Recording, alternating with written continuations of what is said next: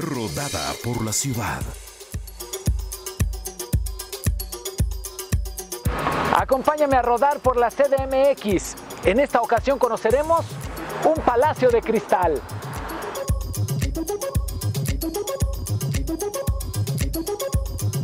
En la CDMX podemos encontrar cosas fantásticas, como un palacio de cristal, convertido luego en Museo Nacional de Historia Natural y ahora Museo Universitario del Chopo. Desde que lo tomó la UNAM, se convirtió en el centro de cultura contemporánea, que ha dado cabida a movimientos artísticos emergentes, alternativos, algunas veces marginales.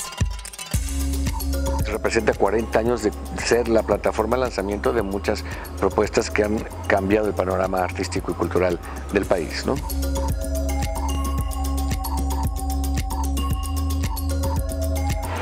Este es un lugar para salir inspirado. Acompáñame a la siguiente rodada.